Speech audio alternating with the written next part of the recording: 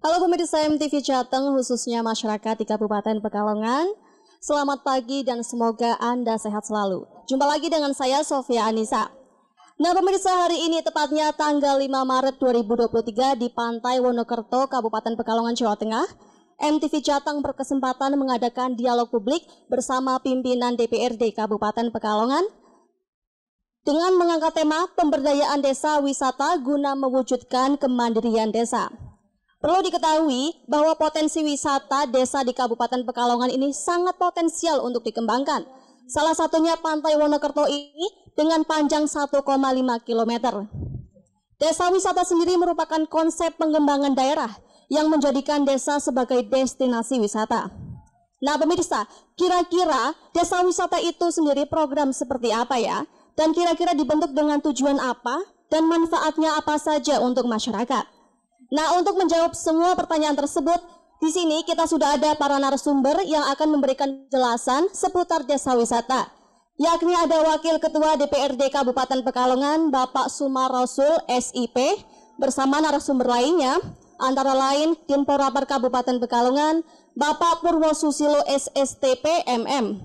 Kemudian ada juga Kepala Desa Wonokerto Kulon, Bapak Rosuli, dan yang terakhir ada Dinas PMD Kabupaten Pekalongan, diwakili bidang pemberdayaan masyarakat desa, Ibu Sri Setianingsih SH. Nah, sebelum acara dialog dimulai, di sini sudah ada rekan kami Muhammad Lutfi yang akan memandu jalannya acara dialog. Baiklah, rekan Muhammad Lutfi, tempat dan waktu kita persilahkan. Ya. Terima kasih Mbak Ansa.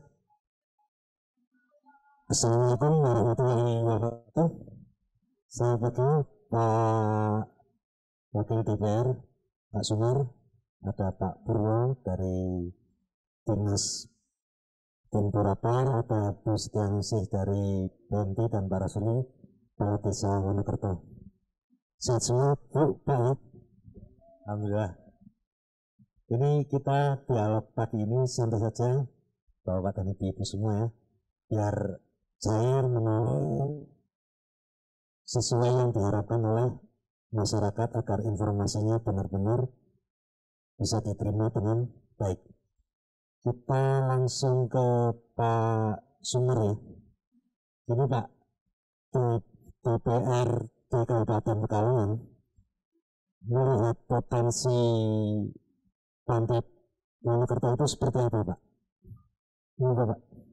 Bahwa prinsip DPRD Kabupaten Pekalongan di dalam semangatnya ingin mengembangkan potensi daerah Kabupaten Pekalongan terutama di bidang wisata ini harus digarap secara kreatif ada kebijakan dan yang pro dengan kepariwisataan tentu mengenai dengan budgeting tetapi tidak lupa bahwa wisata itu harus digarap secara cerdas dan penuh gravitas.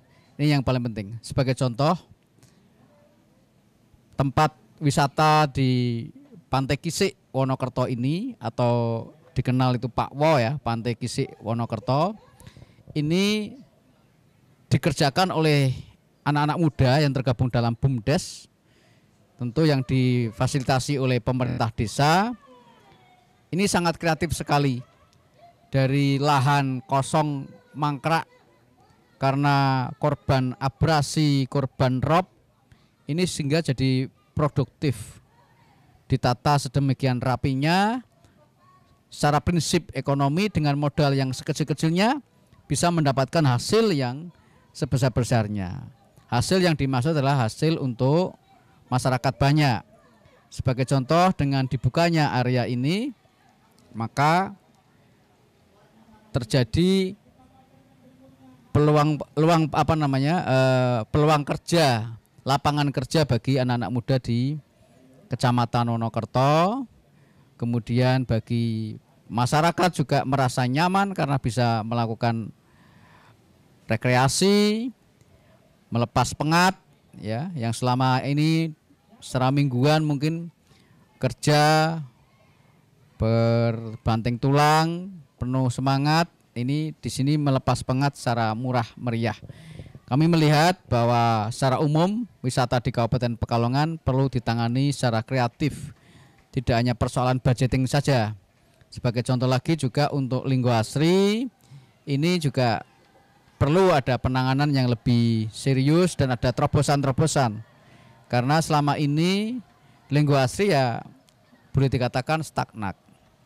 Maka itu beberapa hasil studi komparasi kami ke beberapa daerah baik itu di Jawa Timur maupun di daerah istimewa Yogyakarta sampai ke Provinsi Bali itu semua memang yang namanya wisata itu butuh kreativitas dan butuh keberanian melakukan terobosan karena harus banyak tangan-tangan kreatif untuk menyentuh meningkatkan potensi yang ada di Kabupaten Pekalongan terutama di bidang ke kepariwisataan. Kemarin kami menyarankan kepada Pak Sekda melalui rapat badan anggaran untuk Linggo Asri ini satu-satunya wisata yang milik pemerintah daerah yang masih hidup karena yang lain kayak Pantai Depok itu sudah tidak produktif lagi. Saya sarankan untuk di pihak ketiga kan. Karena di beberapa daerah akan lebih maju pengelolaannya kalau di pihak ketiga kan. Justru wisata yang dikelola oleh pihak ketiga ataupun swasta ini mereka lebih berani karena mungkin eh, tidak terlalu banyak birokrasi sehingga mudah untuk mengembangkan. Ini yang menjadi evaluasi kita sehingga bisa saja pemerintah daerah dalam hal ini melalui Dinas Pariwisata bermitra bekerja sama dengan pihak ketiga baik itu badan usaha des, milik desa atau badan usaha milik pemerintah daerah. Kita punya lembaga yang sudah punya payung hukum, badan usaha baru belum pernah dioperasionalkan, mungkin ini bisa untuk dioperasionalkan menjadi pengelola uh, wisata yang ada di Lenggo Asri atau dengan skim lain dikontrakkan dengan pihak ketiga seperti di Blitar ya di Jawa Timur kita ke sana itu bisa sampai 300 juta per tahun bersih. Pemerintah daerah menerima bersih 300 juta tiap tahun. Kontrak sampai dengan 5 sampai 10 tahun ini sudah tidak ada biaya perawatan, pemeliharaan karena semua sudah ditanggung sama pihak ketiga. Ini luar biasa terobosan ini.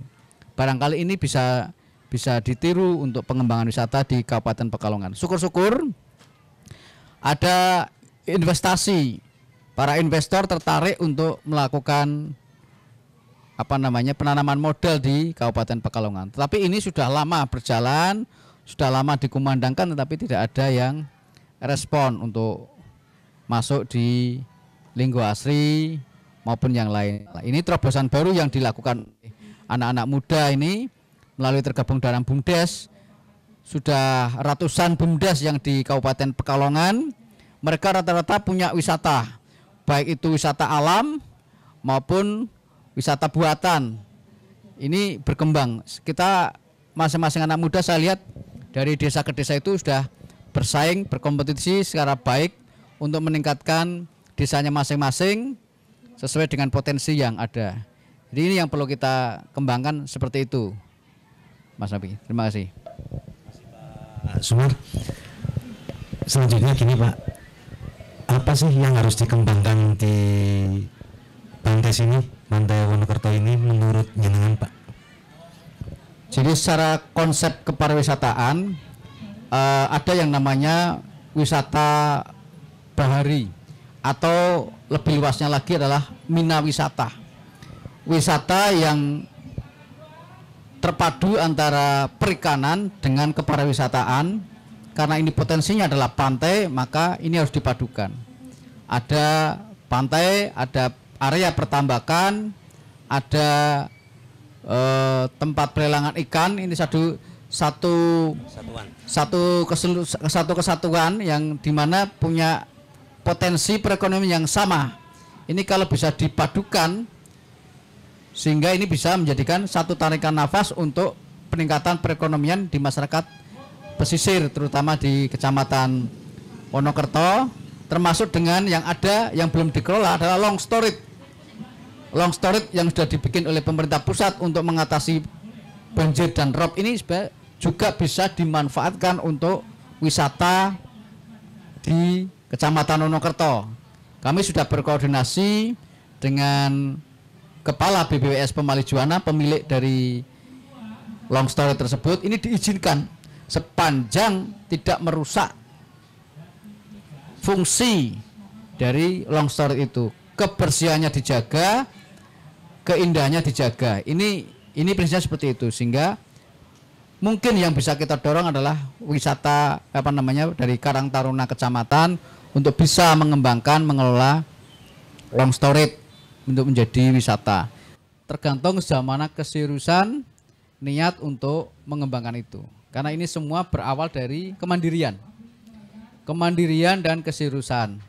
Ini yang menjadi konsep untuk pengembangan wisata di Kecamatan Wonokerto. Sehingga ini apa yang perlu ditata lagi juga kita sudah membuat dari DPRD saya khususnya memberikan aspirasi pokok-pokok pikiran anggaran 150 juta untuk mendesain des- eh, master plan dan DED-nya detail engineering desainnya itu sudah jadi Pak.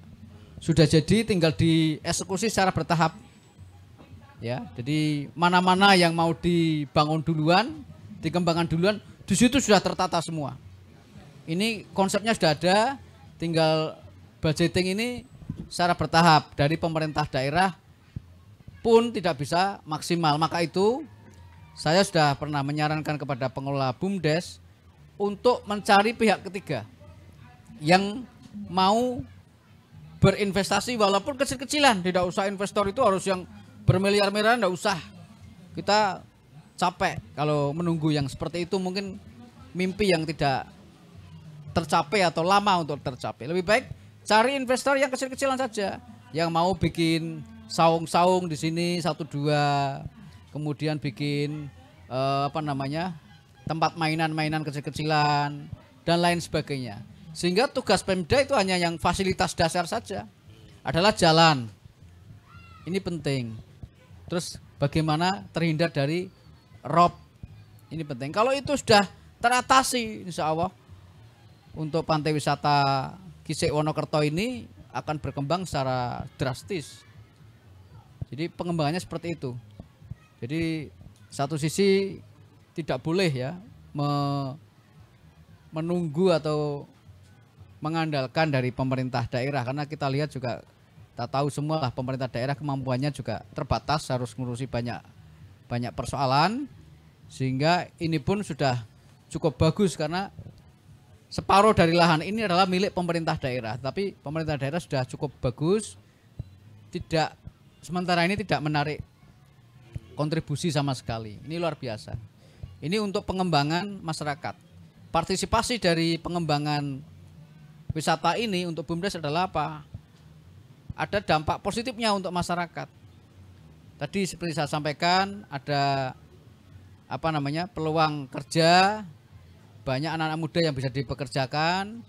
Kemudian para UMKM ya pedagang-pedagang warung pedagang eceran ini sudah banyak yang menggeliat. Ini eh, punya efek efek positifnya untuk masyarakat Kabupaten Pekalongan. Termasuk tadi menyajikan wisata sehingga tidak jenuh di dalam menjalani kehidupan dalam menjalani apa namanya kerja sehari-harinya itu mereka ada rasa eh, nyamannya di sini menghilangkan pengat, menghilangkan suntuk, bisa berrefreshing di Pantai Wonokerto. Demikian, Mas. Oke, terima kasih Pak Sumar. Kita ke bidang pariwisata ya Mas. Pak Purwo. Mas apa apa ini? Mas boleh. Ini Mas, pantai seperti yang disampaikan oleh Pak Sumar tadi ini kan berawal dari warga masyarakat, dikelola, dikembangkan oleh warga masyarakat. Kemudian dari bidang pariwisata sendiri melihatnya seperti apa? Apa sudah kerjasama dengan pemerintah kabupaten atau tetap dibiarkan biar warga yang mengelola? Monggo.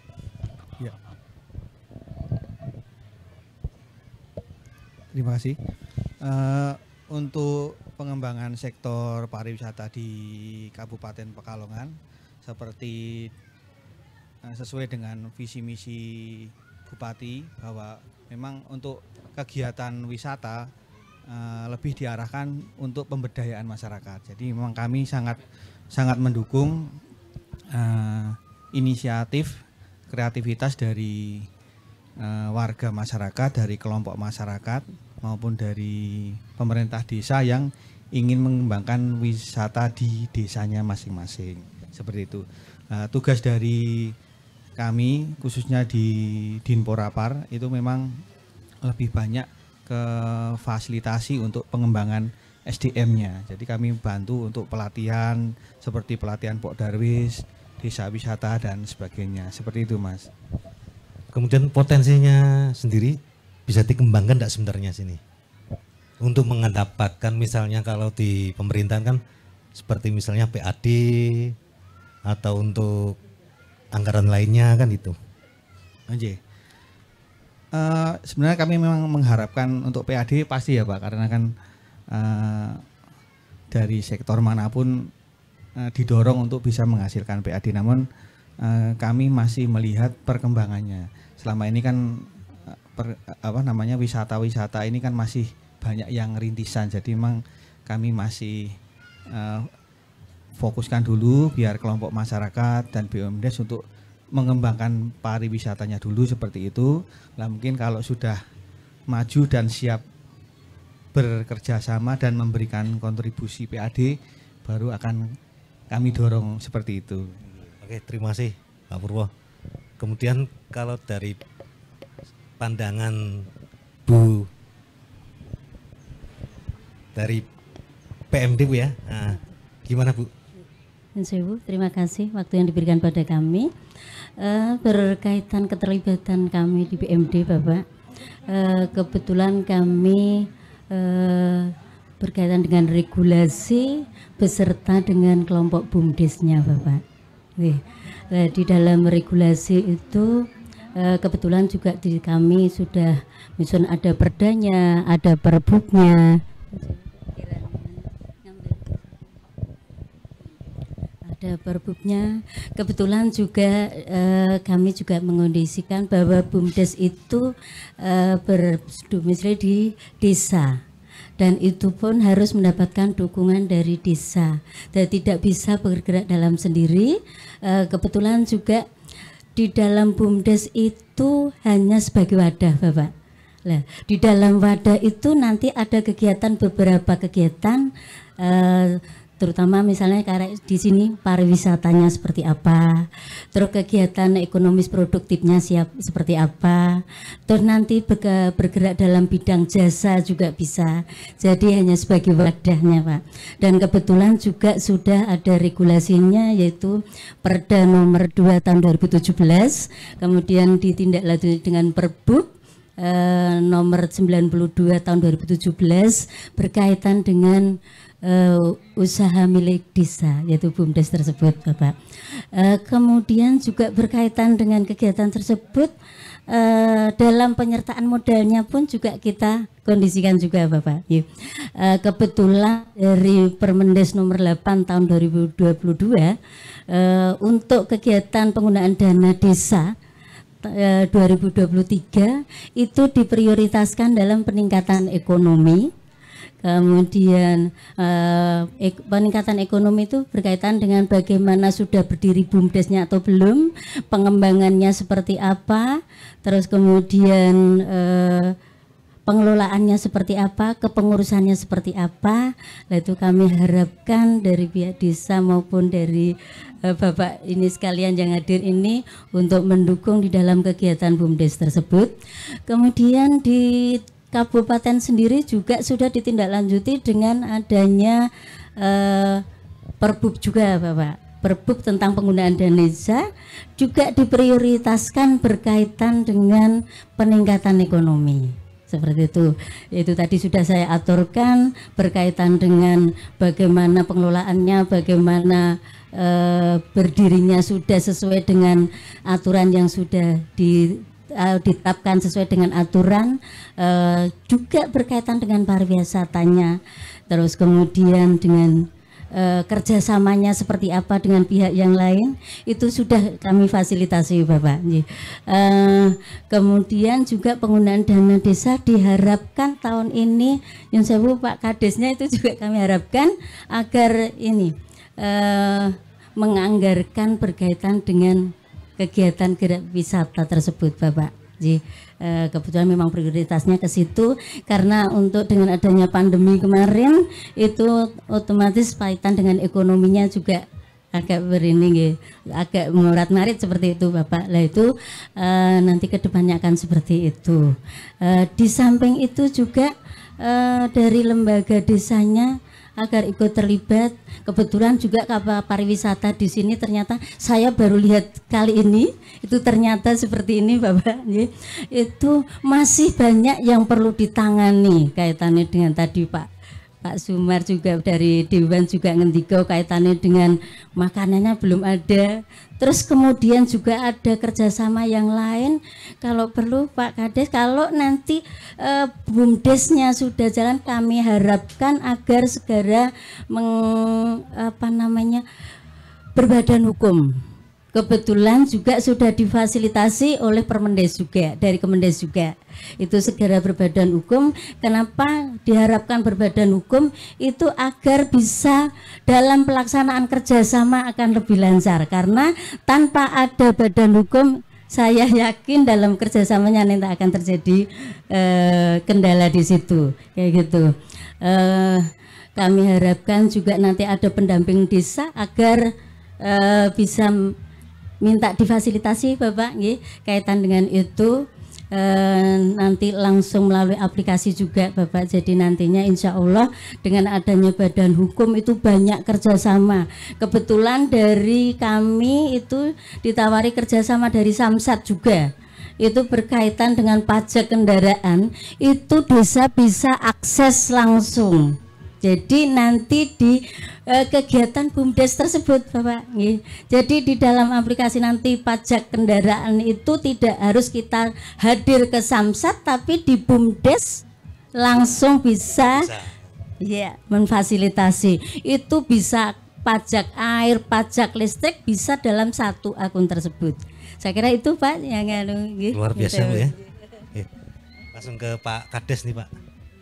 Ini gini Pak, penanganan Pantai Wonokerto ini, misalnya seperti hari Minggu ini, orang masuk ke sini ingin wisata, ingin refreshing, kemudian kami lihat juga ada apa?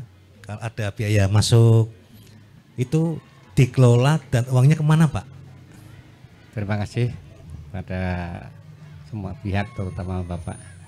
Langsung saja saya bersyukur berterima kasih kepada semua pihak yang telah membantu terutama Bundes Wonokerto Kulon bagaimanapun perlu bantuan-bantuan semua pihak karena perlu kemajuan-kemajuan di dalam masyarakat terutama Wonokerto untuk apa pun untuk sebagai eh, fondasi ekonomi.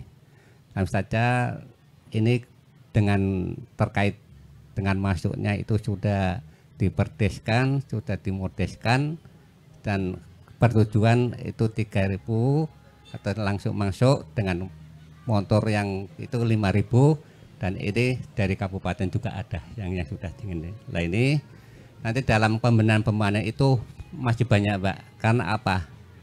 Dalam Bondes Wonokerto Kulon itu dibuat itu tahun 2018 itu masih murat marit dalam masalah aturan-aturan karena kesemangatan di masyarakat terutama anak muda, karang taruna dan bagaimana itu harus ini harus dijadikan alhamdulillah.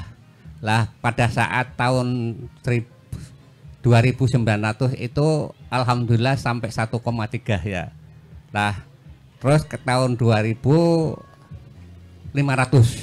Nah, terus langsung ada rob dan termasuknya covid itu. Lah itu kendalanya Alhamdulillah dalam tahun sekarang tahun 2020 22 Alhamdulillah akses di, di dalam untuk menuju wisata Alhamdulillah Ibu Bupati Badia dan Bapak Sumarroso selaku wakil DPR Pekalongan itu spotnya itu Alhamdulillah kita bersyukur Pak dalam untuk kemajuan kemasyarakat masukan dalam dana-dana dalam masalah kasih itu luar luar biasa mudah-mudahan apa yang kita nanti kita kesemangatan dalam kita sebagai kepala desa kita harus memberi respon dalam arti semua pihak supaya hal-hal nanti jangan sampai seperti itu maju terus dan untuk masyarakat khususnya Wonokerto Kulon.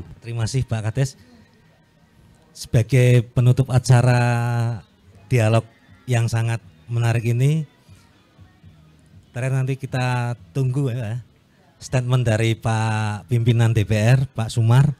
Jadi tadi ada kalimat yang menggelitik nih dari Mas Purwo tadi jangan sampai Pantai Wonokerto ini menjadi wisata di desa tapi bisa menjadi desa wisata kan itu. Nah mungkin butuh butuh payung hukum seperti perda atau gimana itu Pak Sumar? Monggo statement terakhir sebagai penutup acara dialog ini. Terima kasih wisata Pantai Kisik Wonokerto itu secara real memang perlu dan sangat perlu peningkatan secara kualitas maupun produktivitas ya. Ini yang menjadi perhatian kita semua selaku stakeholder di Kabupaten Pekalongan, baik dari pemerintah daerah, ya dalam hal ini mungkin dari Dinas Pariwisata, PMD, mungkin dari DPU maupun yang lainnya yang mengait dari DPRD juga para instansi yang lain karena ini kita punya potensi. Yang kedua, kita punya semangat dari potensi dan semangat itulah maka harus kita tingkatkan produktivitasnya maupun kualitasnya. Dari segi legalitasnya maupun yang lain. Karena prinsip ini sudah berjalan secara real adalah tempat pariwisata. Realnya tinggal legalitasnya.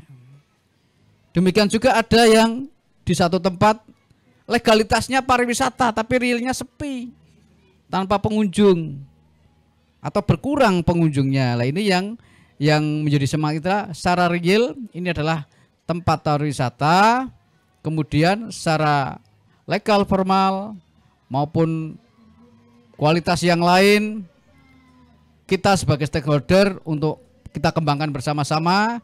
Ada perhatian yang lebih, ada perhatian yang khusus supaya bisa menjadi pariwisata yang layak layak untuk para pengunjung baik itu anak-anak maupun yang lain sehingga bisa menempatkan wisata ini di baik di mata wisatawan regional maupun yang lainnya ini bisa dipandang secara baik. Jadi bersama-sama mari kita tingkatkan ya kualitas maupun produktivitasnya ini Tuhan yang Maha Esa Allah Subhanahu wa taala memberikan alam yang cukup ya, cukup baik lah, cukup indah di tanah Jawa ini. Kalau dibanding dengan luar Jaya, Jawa mungkin yang pasir putih mungkin kita kalah, tapi dengan yang seperti ini sudah luar biasa. Mari kita manfaatkan sebaik-baiknya, kita tingkatkan.